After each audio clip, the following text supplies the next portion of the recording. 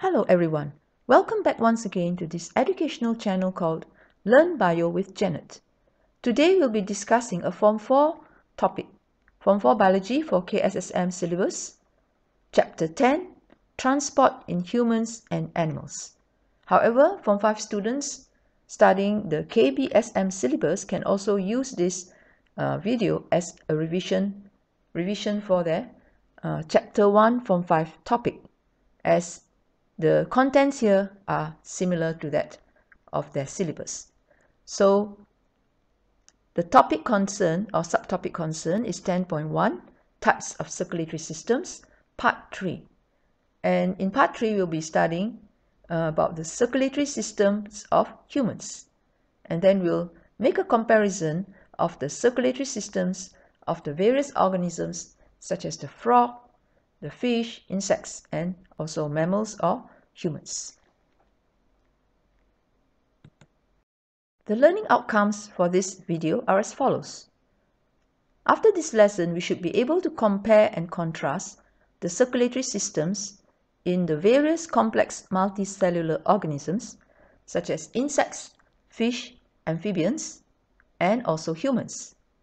In the previous video, Types of Circulatory Systems Part 2, we have already discussed the circulatory systems of insects, fish, and amphibians. So for this video, we'll be discussing the circulatory systems of humans. Let us refresh our memory about the types of circulatory systems in organisms. So there are two main types of circulatory systems in organisms.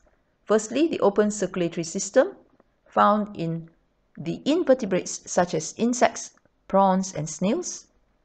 And then we have the closed circulatory system that is found in the vertebrates such as the fish, amphibians, reptiles, mammals, and birds.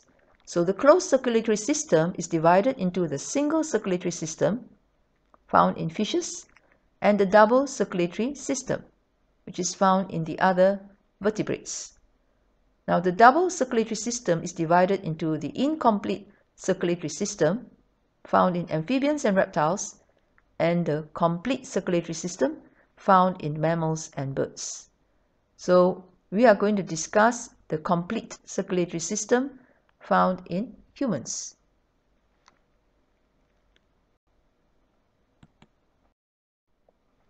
Now in the previous video, we have already discussed the open circulatory system in insects. We have also discussed some types of closed circulatory systems. That is, for fish and for the frog. For the fish, it has one atrium and one ventricle, and the type of circulatory system is called a single closed circulatory system. For the frog, it has two atria and one ventricle in the heart. That means it has three chambers and it has a double incomplete closed circulatory system. Now, for this video, we're going to study the circulatory system of humans. Humans have a four-chambered heart with two atria and two ventricles. And the circulatory system is called a double complete closed circulatory system. Let us now discuss the circulatory system of humans. Humans have a closed, double, complete circulatory system.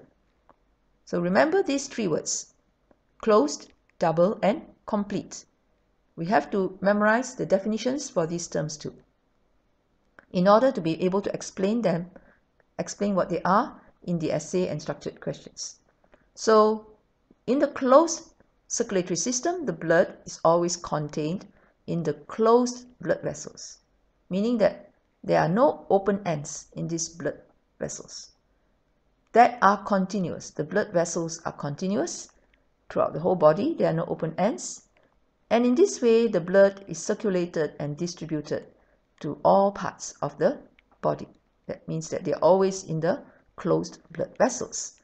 This means that there are no open ends where the uh, for the blood vessels where the whole blood can flow out and bathe the cells. This does not occur in the closed circulatory system compared to the open circulatory system where the hemolymph can flow out from the hemolymph vessels that are open-ended and bathe the cells in the hemocoel. So in the closed circulatory system, the blood is always contained in the closed blood vessels and never uh, flows out from the blood vessels as a whole blood. Now let's look at the word double. So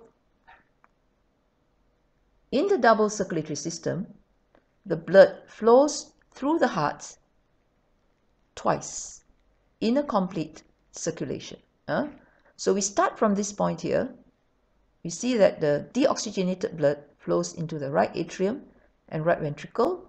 And after that, it is transported to the lung capillaries where it receives oxygen. And then it flows back through the pulmonary vein, again into the heart, huh? into the left atrium and then the left ventricle. And after that, it is pumped under high pressure to the systemic capillaries before it flows back to the heart. So we can see that the blood flowed through the right side of the heart first and then through the left side of the heart two times uh, before it flows back to the same point here. So in the double circulatory system, blood flows through the heart twice. That's why it's called a double uh, circulatory system. Twice in a complete cycle. Now, another uh, point to note is that in the double circulatory system, blood flows in two directions, forming two circulations. The first direction is shown by the white arrows. Okay, when blood flows from the heart to the lung capillaries and then back to the heart. This is called the pulmonary circulation. In the second circulation, blood flows from the heart to the systemic capillaries and back to the heart. This is called the systemic circulation. Not systematic, huh? it's systemic. So these are the two circulations in the double circulatory system, the pulmonary circulation and the systemic circulation.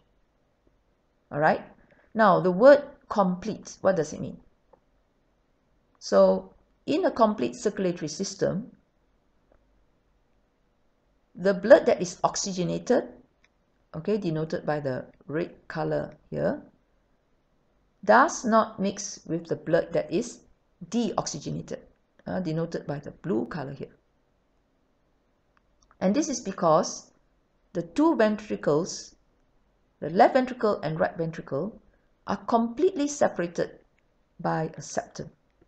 Completely. That's why it's called a complete circulatory system. Uh, the septum is completely, uh, the septum completely separates the heart into the left side and the right side. So this septum is a muscular wall uh, around the center of the heart here that divides the heart into the left and right side and it's very important to separate the two parts so that oxygenated blood and deoxygenated blood do not mix in the heart.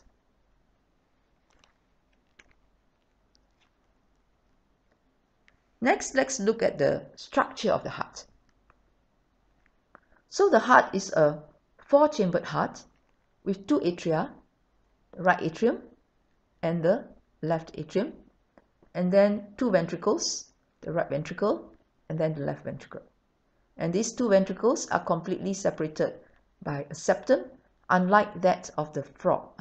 Frog only has one ventricle, and so this is a disadvantage because for frog, for the frog, the oxygenated blood mixes with the deoxygenated blood in the single ventricle and less oxygen is then transported to the cells. That's for the frog that has an incomplete circulatory system. Right, So now let's talk about the blood flow in humans or blood circulation. So blood flows in two directions forming the pulmonary circulation and the systemic circulation. Let's start with the pulmonary circulation. In the pulmonary circulation, blood is transported from the heart and this is deoxygenated blood. So deoxygenated blood is transported from the heart to the lungs where exchange of gases occur and then oxygenated blood flows back to the heart. Then in the systemic circulation, blood is transported from the heart through the aorta. Now this is oxygenated blood. Uh, so we say oxygenated blood is transported from the heart to the body tissues where oxygen diffuses into the cells and carbon dioxide diffuses out of the cells into the blood. Next, the deoxygenated blood flows back to the heart. Right? Now, if you're asked to explain the pulmonary circulation and systemic circulation in detail, then you have to state the chambers of the heart involved and also the blood vessels involved. Uh, name the blood vessels. Be more specific. Okay, let's say we are asked to explain in more detail for uh, essay or structured question. So in the pulmonary circulation, the deoxygenated blood is pumped from the right ventricle into the pulmonary artery here. And then the pulmonary artery transports the blood to the lungs, where oxygen diffuses into the blood and carbon dioxide diffuses out of the blood into the lungs to be expelled. Next, oxygenated blood flows through the pulmonary vein back to the heart, to the left atrium of the heart. And then it flows into the left ventricle. Now, in the systemic circulation, systemic circulation, huh? Systemic means there's something to do with, it has something to do with body tissues, okay? Systemic capillaries are the capillaries that are uh, found among uh, the body tissues or in the body tissues. Right, so let's talk about systemic circulation. Oxygenated blood is pumped out from the left ventricle at high pressure into the aorta, which transports the blood to the body tissues. Then in the body tissues, oxygen and nutrients will, be, will filter out from the blood and diffuse into the cells, whereas carbon dioxide diffuses from the cells into the blood. Finally, the deoxygenated blood flows back to the right atrium of the heart through the vena cava. So that is the systemic circulation. So we've discussed the pulmonary circulation and the systemic circulation. Now let's talk about the advantages of the human circulatory system. Okay, so maybe that part we will leave it to the uh, slides that are coming up. Let's go through all that we have discussed so far about the human circulatory system. Let us now go through the notes based on what was discussed just now. Firstly, humans have this type of circulatory system, a double complete closed circulatory system. The meaning of the word closed circulatory system is that blood is always contained in the closed blood vessels that are continuous and in this way the blood flows and is circulated throughout the whole body. In a double circulatory system, the blood flows through the heart twice in a complete cycle. It also means that the blood flows in two directions, forming two circulations. Firstly, the pulmonary circulation, in which blood flows from the heart to the lungs and back to the heart. And then we have the systemic circulation, in which blood flows from the heart to the systemic capillaries and body tissues and then back to the heart. Humans have a complete circulatory system, meaning that the blood that is oxygenated and the deoxygenated blood do not mix in the heart. Oxygenated and deoxygenated blood do not mix in the heart. This is because the two ventricles, the left and right ventricles, are completely separated by a septum.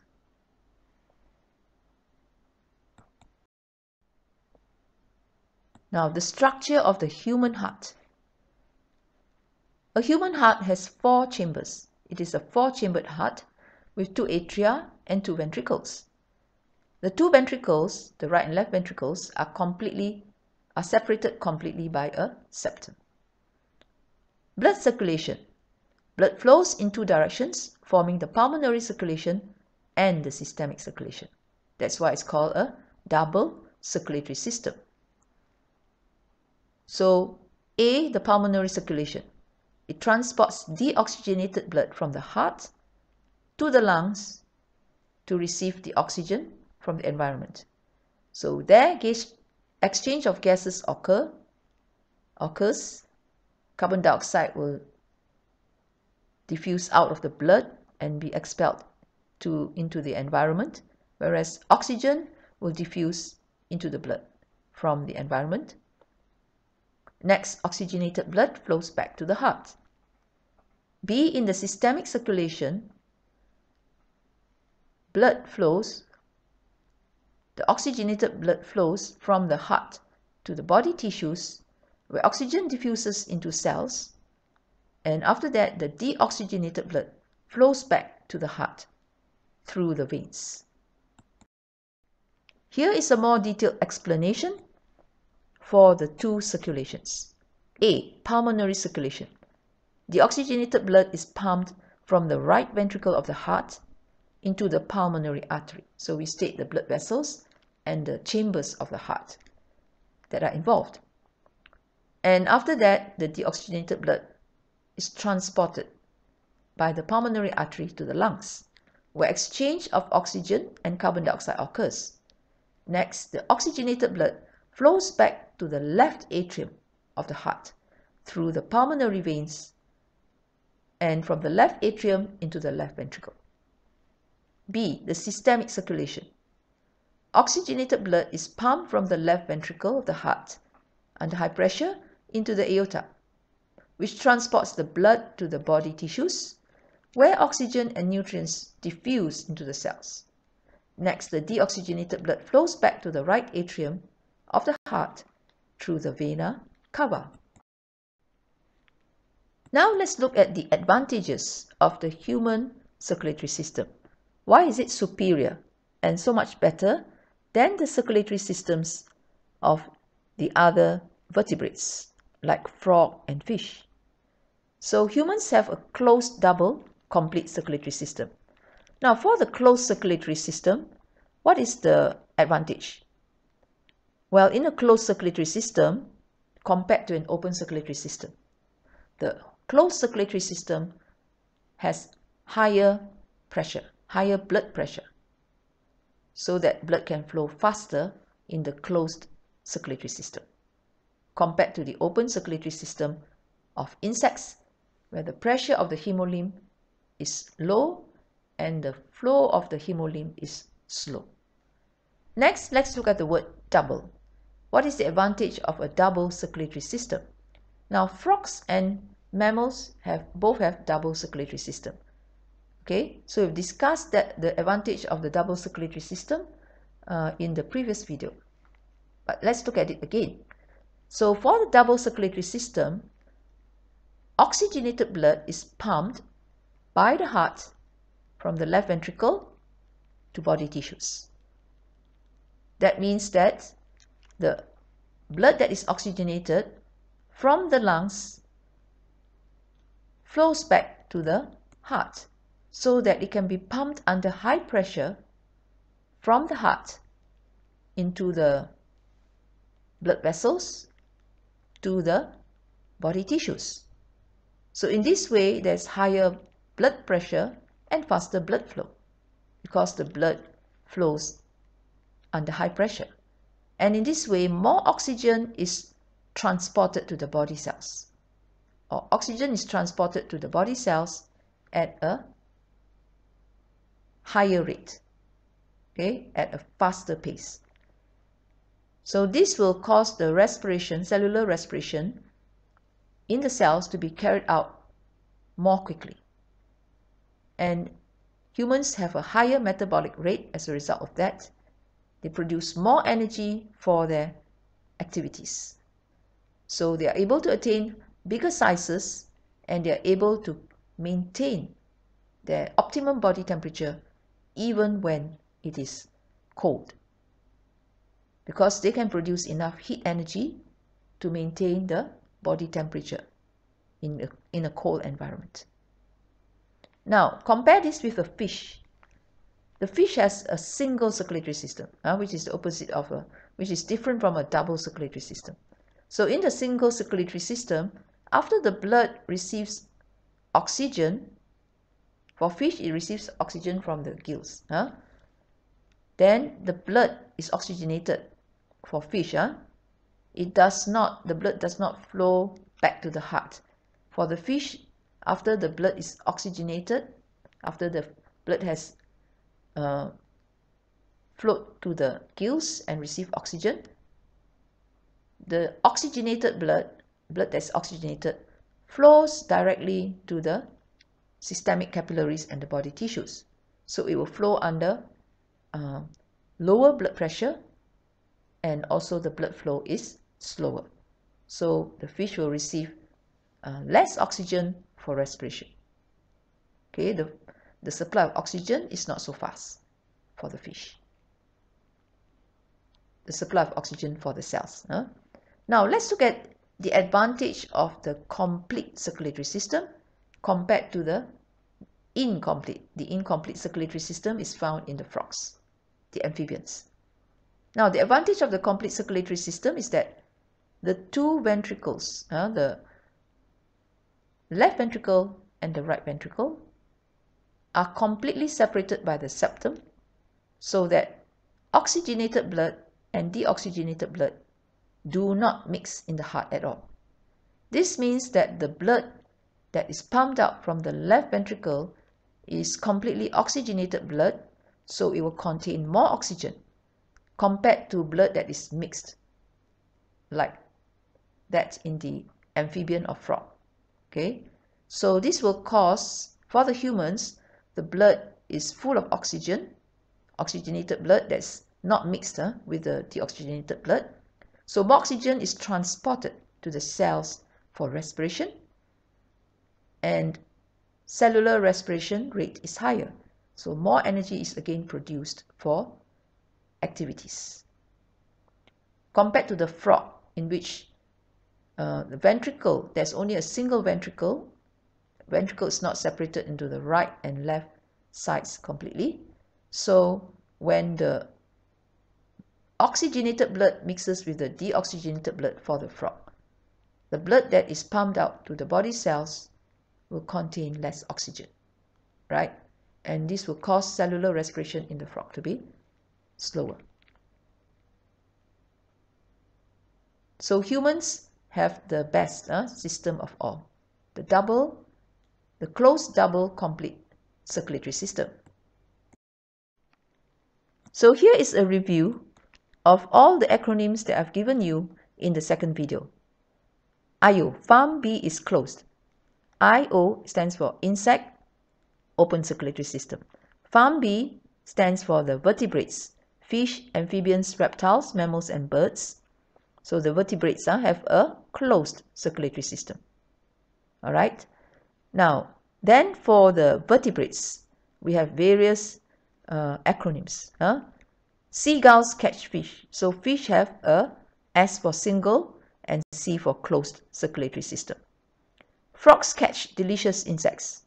Stands for frogs have closed, C for closed, D for double, and I for incomplete circulatory system. Humans catch delicious crabs. So humans have closed, C for closed, D for double, and the other C is for complete circulatory system. Uh, so these two frogs catch delicious insects and humans catch delicious crabs.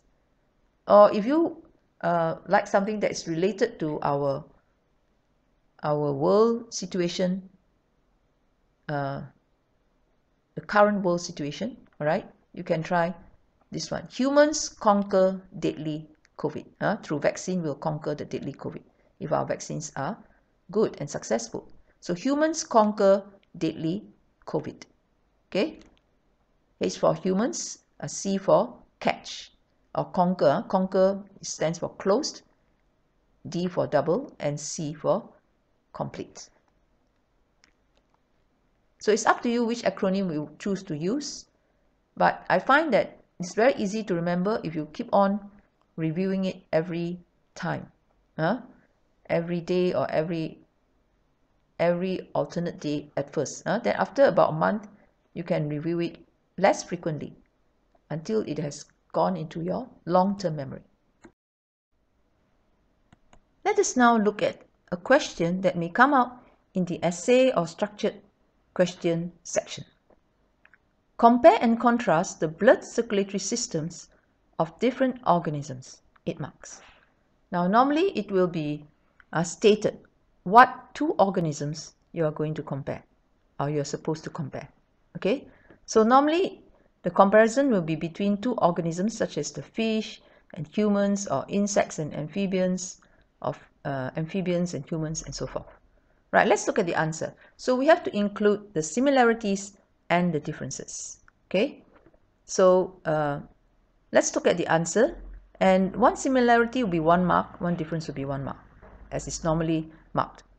Now, the circulatory system is found in many multicellular organisms such as insects, fish, amphibians, humans, and birds. Take note that you cannot say the circulatory system is found in all multicellular organisms. Huh? Not all, because there are multicellular organisms that do not have a circulatory system. For example, the flatworm, which is small and flat, and so it can uh, obtain the oxygen by diffusion alone through its flat body, which has a large total surface area. Okay, so the flatworm does not have a circulatory system. It is a multicellular organism without a circulatory system. Circulatory system. Other than that, uh, other multicellular organisms include plants. Plants are multicellular organisms. They don't have a the normal circulatory system of animals. All right.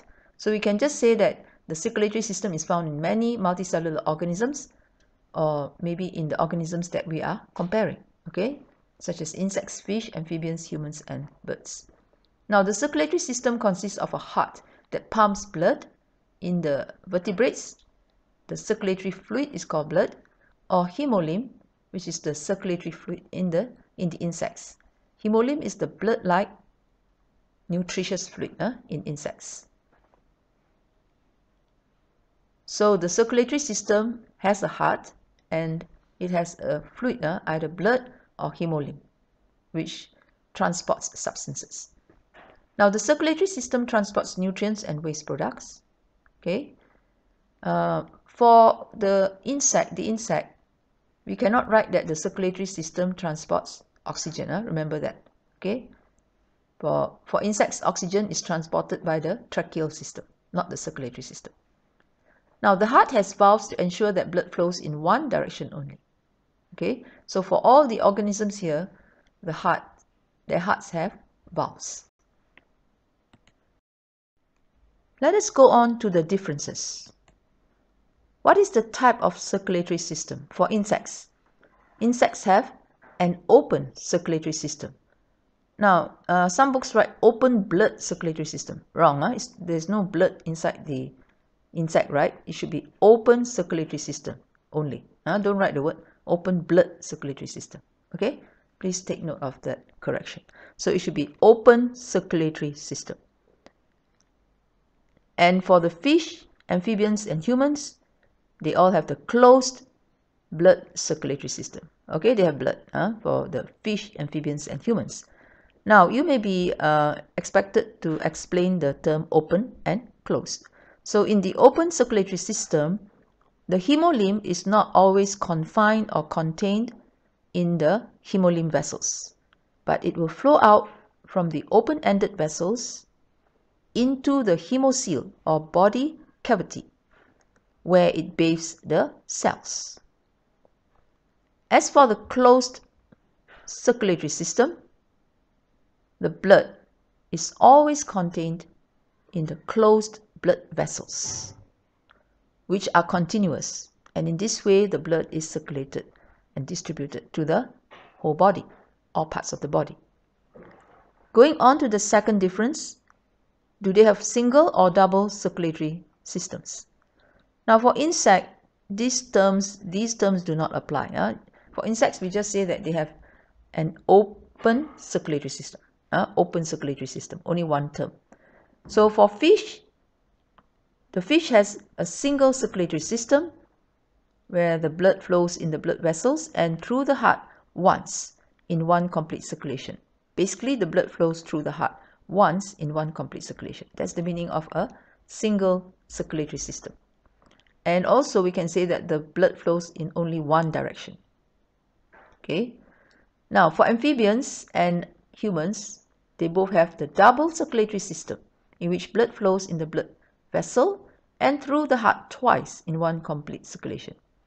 So blood flows through the heart twice in one complete circulation. Also, the blood flows in two directions, forming two circulations. So the amphibians have two circulations, namely A, palmo, a pulmocutaneous circulation, where blood flows from the heart to the lungs and skin and back to the heart. And B, the systemic circulation, where blood flows from the heart to the body tissues and back to the heart. For humans, they also have a double circulatory system, right? And for them also, the blood flows in two directions, forming two circulations. The two circulations in humans are A, a pulmonary circulation, where blood flows from the heart to the lungs and back to the heart, and B, a systemic circulation, where blood flows from the heart to the systemic capillaries and body tissues and then back to the heart. Now the third difference, the number of heart chambers.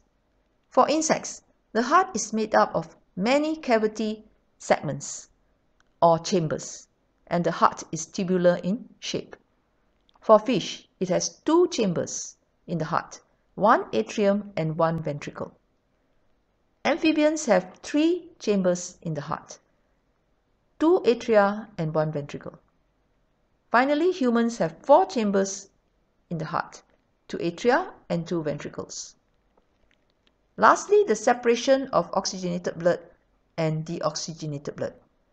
Now, this only applies to the organisms with the double circulatory system. This is, that is the amphibians and humans. So for amphibians, they have the double incomplete circulatory system where some oxygenated blood mixes with the deoxygenated blood in the single ventricle because there's only one ventricle. But for humans, the heart, uh, the circulation or circulatory system is the complete circulatory system where oxygenated blood in the left ventricle does not mix with the deoxygenated blood in the right ventricle as there is a septum to separate the left ventricle from the right ventricle completely. So that's all for our video uh, lesson today. Thanks for watching. Please share, like and subscribe and I'll be going on to the structure of the heart in the next video. Goodbye for now.